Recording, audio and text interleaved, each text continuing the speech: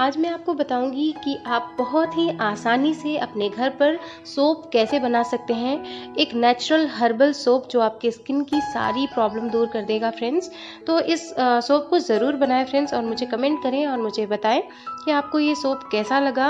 ये बहुत ही आसानी से बन जाएगा फ्रेंड्स हेलो फ्रेंड्स कैसे हैं आप सब? फ्रेंड्स मैं हूँ सोनम और मैं आपके लिए इसी तरह से नए नए होम लेकर आती रहती हूँ।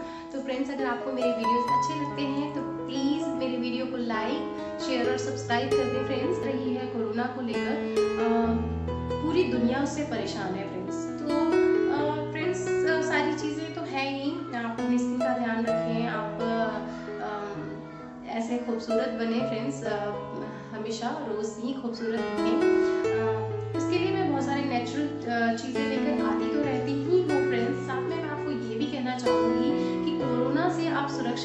फ्रेंड्स आप मास्क पहने, आसपास के लोगों को भी सुरक्षित रखें। फ्रेंड्स ये दिन भी गुजर जाएँगे। क्योंकि प्रॉब्लम्स तो कहीं ना कहीं आती है लाइफ में सबके तो वो दिन भी बीत जाएँगे फ्रेंड्स तो थोड़ा सा सुरक्षित रहे, थोड़ा सा इंतज़ार करें, थोड़ा कोरोना वाला माहौल जो भी है वो ख़त्म होने दें। उसके बाद ही आप बाहर जाए जाए या जाने की कोशिश करें। घर पे रहें फ्रेंड्स और खुश रहने की कोशिश करें पॉजिटिव रहें और नए नए डी आई वाई ट्राई करते रहें फ्रेंड्स ताकि आपका मन भी लगा रहे और आपकी स्किन भी अच्छी हो जाए फ्रेंड्स और कहते फ्रेंड्स आपने मुझे कुछ टाइम से काफ़ी प्यार दिया है friends thank you so much friends please share करना ना भूलें. और फ्रेंड्स चलिए, देखते हैं कि हम अलग अलग तरह के जो सूप हैं वो घर पे कैसे बना सकते हैं और, और उससे हमें क्या क्या ब्यूटी बेनिफिट्स मिल सकते हैं। तो चलिए मैं आपको लेकर चलती हूँ अपनी ये किचन वाली दुनिया में। सोप बनाने के लिए फ्रेंड्स सबसे पहले हमें ज़रूरत पड़ने वाली है सोप बेस का। इसलिए मैं यहाँ पर मिल्क सोप बेस ले रही हूँ। मिल्क सोप बेस हमारी स्किन के लिए बहुत ज़्यादा फ़ायदेमंद होता है क्योंकि ये स्किन को हाइड्रेट करता है। हमारी स्किन में एक नमी बनी रहती है सॉफ्टनेस बनी रहती है, हमारी स्किन ड्राई नहीं होती और ये बहुत ही ज़्यादा हमारी स्किन के लिए फ़ायदेमंद भी होता है। आप चाहें तो कोई भी सोप बेस ले सकते हैं जो मिल्क फ्री हो। मिल्क फ्री का मतलब होता है फ्रेंड्स कि जिसमें दूध मिला हुआ ना हो। और फ्रेंड्स वो अगर आप चाहते हैं, अगर आप आपकी स्किन को मिल्क सूट नहीं करता तो आप milk free soap base use कर सकते हैं। फ्रेंड्स अगर आप चाहें तो आप नॉर्मल अगर आपके पास कोई साबुन है, घर पे जो पड़ा है ऑलरेडी आप उसमें भी अपनी कोई भी चीज़ें अगर मिक्स करना चाहते हैं कुछ तो आप ये सोप बेस की जगह वो सोप यूज़ कर लें जो आपके पास है और आप उसमें ही जो चीज़ें चाहें मिक्स कर सकते हैं और वो आपके लिए एक नेचुरल हर्बल सोप हो जाएगा जो बहुत ज़्यादा इफ़ेक्टिव हो जाएगा आपके लिए, बहुत ज़्यादा फ़ायदेमंद हो जाएगा। सोप बेस को फ्रेंड्स आप छोटे छोटे टुकड़ों में इस तरह से कट कर लें और अपने मोल्ड में एक बार इसे डालकर देख लें कि उसके शेप के लिए आपको कितना ज़्यादा सोप बेस की ज़रूरत पड़ने वाली है। इस तरह से आपको पता चल जाएगा कि आपको एक साबुन बनाने के लिए कितना ज़्यादा सोप बेस की ज़रूरत पड़ने वाली है। पहला साबुन मैं यहाँ बना रही हूँ friends honey and glycerin soap ये आपकी स्किन के लिए बहुत ही ज़्यादा फ़ायदेमंद होने वाला है, क्योंकि अगर आपकी स्किन बहुत ज़्यादा ड्राई रहती है, या आपको डार्क सर्कल की प्रॉब्लम है, अगर आपकी स्किन टोन थोड़ी डार्क है तो आप इस साबुन का इस्तेमाल कर सकते हैं और आपकी स्किन बहुत ही ज़्यादा सॉफ्ट भी हो जाएगी फ्रेंड्स इसे बनाने के लिए मैं यहाँ पर हनी ले रही हूँ. फ्रेंड्स एक चम्मच ही हनी यूज़ करें। आप हनी हमारे स्किन के लिए बहुत ज़्यादा फ़ायदेमंद होता है। अब मैं इसमें ऐड कर रही हूँ ग्लिसरीन ग्लिसरीन भी हमारे स्किन के लिए बहुत ज़्यादा फ़ायदेमंद होता है और अब मैं इसमें ऐड करने जा रही हूँ विटामिन ई फ्रेंड्स इसमें दो कैप्सूल्स आप ऐड कर लें विटामिन ई के। इसी इस तरह से कट कर लें और आप उसे अच्छे से उसमें मिक्स कर लें। विटामिन ई से हमारे स्किन रिलेटेड जो भी प्रॉब्लम होती है पिंपल है या डार्क सर्कल्स हैं, या फिर डार्कनेस है, या आपकी स्किन में कोई दाग धब्बे हैं, ये सब चीज़ें जितनी भी प्रॉब्लम्स हैं, वो इससे दूर होती हैं फ्रेंड्स फ्रेंड्स आप देख रहे हैं इसका कितना प्यारा सा टेक्सचर आया है. फ्रेंड्स इसे अच्छे से मिक्स कर लें. सोप बनाने के लिए फ्रेंड्स पहले एक बड़े बर्तन में हम पानी लेंगे. अब उसमें एक छोटी सी कटोरी डालेंगे फ्रेंड्स हमें डायरेक्टली सोप बेस उसमें नहीं डालना, हमें पानी का इस्तेमाल बिल्कुल भी नहीं करना है। इस तरह से आप जब पानी बॉयल हो जाए अच्छे से, उसके बाद आप जो खाली बर्तन है, जो आपकी कटोरी है, उसमें आप ये सोप बेस डालें फ्रेंड्स और उसे हल्के हल्के धीरे धीरे इस तरह से लिक्विड फॉर्म में आने दें। जैसे ही ये थोड़ा इस तरह से ये लिक्विड हो जाता है। आप अपनी जो भी चीज़ें हैं, आपने जो बना रखी है ऑलरेडी जो आपका मिक्सचर है, वो इसमें प्रॉपरली अच्छे से मिक्स कर लें फ्रेंड्स मिक्सचर मिक्स करने के बाद फ्रेंड्स आपको सिर्फ़ इसे एक मिनट तक ही आपको चलाते रहना है। उसके बाद जैसे ही एक मिनट हो जाते हैं आपके, आप इसे तुरंत ही अपने मोल्ड में इसे भरकर रख लें ताकि आपको एक प्रॉपर सोप का शेप मिल जाए। मैंने यहाँ पर मिल्क सोप बेस लिया था फ्रेंड्स इसलिए मैंने इसमें मिल्क ऐड नहीं किया। अगर आप नॉर्मल सोप बेस यूज़ करते हैं तो आप उसमें मिल्क ऐड कर लें, क्योंकि ये हमारा मिल्क हनी और glycerin with vitamin E soap है फ्रेंड्स तो आप उसमें मिल्क अलग से एक दो चम्मच ऐड कर सकते हैं।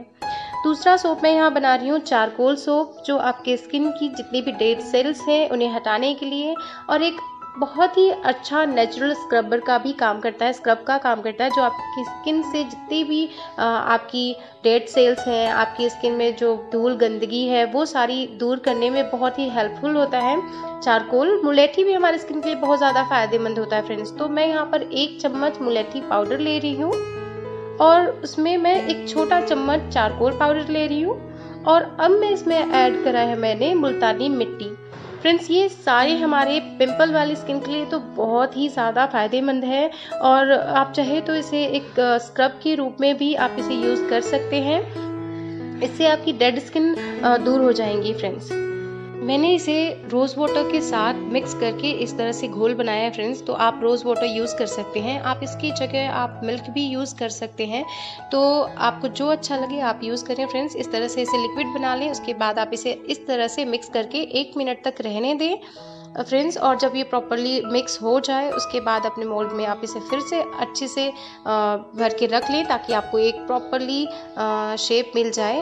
फ्रेंड्स आप पूरी वीडियो देखिए ताकि आपको सारी इन्फॉर्मेशन अच्छे से मिल पाए और आपका सोप एक अच्छे से प्रॉपर शेप में बन पाए। नेक्स्ट सोप है फ्रेंड्स हमारा neem and hibiscus flower soap ये हमारे स्किन के लिए बहुत ही ज़्यादा फ़ायदेमंद है फ्रेंड्स फ्रेंड्स इसे उड़हल और गुड़हल दोनों नाम से भी जाना जाता है और इसे हिबिस्कस फ्लावर के नाम से भी जाना जाता है। ये नॉर्मली हर घर में मिल जाता है फ्रेंड्स ऑलमोस्ट इसके इस्तेमाल से आपकी झुरियों वाली प्रॉब्लम आपकी डार्क स्किन वाली प्रॉब्लम हो, या फिर आपकी स्किन में अगर बहुत ज़्यादा ड्राइनेस वाली प्रॉब्लम है, वो सारी दूर हो जाएँगी। फ्रेंड्स ये है नीम। नीम का पेड़ बहुत ही आसानी से हर जगह पे मिल जाता है फ्रेंड्स और आप इसके पत्ते चाहें तो सुखा लें, इस तरह से उसका पाउडर बना लें, और आप उसे किसी भी फेस पैक के लिए भी यूज़ कर सकते हैं। यहाँ पे आप एक चम्मच नीम का पाउडर ले लें फ्रेंड्स जो मैंने ऑलरेडी अपने घर में ही इसे सुखाकर बनाया था फ्रेंड्स और आप इस तरह से उड़हल को सुखाकर उसका पाउडर बना लें, और एक चम्मच आप वो ले लें फ्रेंड्स, उड़हल का पाउडर अब मैं उसमें ऐड कर रही हूँ एक चम्मच शहद।